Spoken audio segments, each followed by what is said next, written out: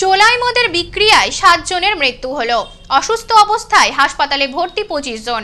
ঘটনাটি ঘটেছে নদিয়ার শান্তিপুর এলাকায়। এলাকায় মেডিকেল টিম, ঘটনায় সাসপেন্ড এগারো জন আবগারি কর্মী। চোলাই মদের বিষক্রিয়ায় মৃত্যু হলো সাতজনের ঘটনায় অসুস্থ হয়েছেন আরও পঁচিশ জন। ঘটনাটি ঘটেছে নদিয়ার শান্তিপুর থানার নৃসিংহপুর চৌধুরীপাড়া এলাকায়। জানা গেছে, এলাকায় দীর্ঘদিন ধরেই চোলাই মদের কারবার চলত। কয়েকজন সমাজবিরোধী এই কাজে যুক্ত বলে অভিযোগ এলাকাবাসীর। মঙ্গলবার রাতে এলাকার কয়েকজন ও স্থানীয় একটি ইটভাটার শ্রমিকেরা চোলাই মদ খান। এরপরই অসুস্থ হয়ে পড়েন তারা। তাদেরকে শান্তিপুর ও কালনা হাসপাতালে ভর্তি করা হয়। সেখানেই মৃত্যু হয় সাতজনের। বাকিরা হাসপাতালে চিকিৎসাধীন। মৃতের সংখ্যা আরও বাড়তে পারে বলে আশঙ্কা করছেন স্থানীয়রা। ওরা সব রকমই মদ বিক্রি করতো চোলাই মানে কালনা হাসপাতালে কজন মারা গেছে? হাসপাতালে তিনজন বাড়িতে একজন। বুধবার ঘটনার কথা প্রকাশ্যে আসতেই এলাকায় যান শান্তিপুর থানার বিশাল পুলিশ বাহিনী। চুল্লু মদ মদ খাওয়ার পরে এই রাত্রে নটার সময় দশটার সময় একজন মারা গেছে।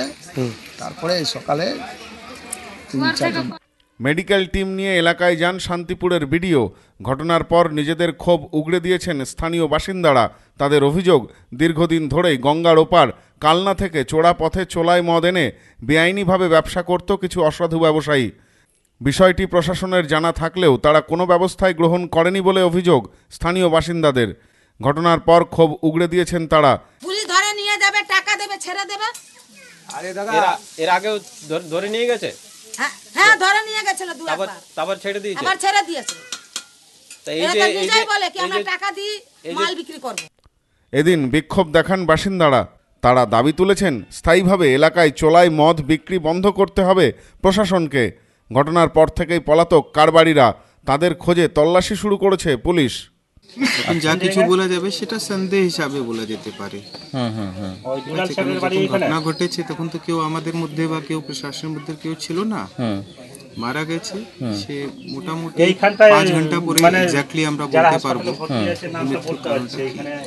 তো রেগুলার খায় এরা রেগুলার মারেনি আজকে মনে হচ্ছে কেন? হঠাৎ যারা খেয়েছিল তারাই মারা গেছে। যারা খেয়েছিল হয়তো নতুন কালকে খায়নি। সবাই মারা যায় এটা তো কন্টিনিউয়াস প্রসেস রোজ খায় এরা যারা মারা গেছে তারা খেয়েছিল। হ্যাঁ মারা গেছে তারা খেয়েছে না অনেকেই খেয়েছে আরও লোক খেয়েছে। হসপিটাল তো যারা মারা গেছে এখন হসপিটাল লোক আমাদের চাচ্ছি ধরো মাল না হলেই হোক। এখানে যেন কোনো মদ না মদ বেচতে পারবে না কেউ।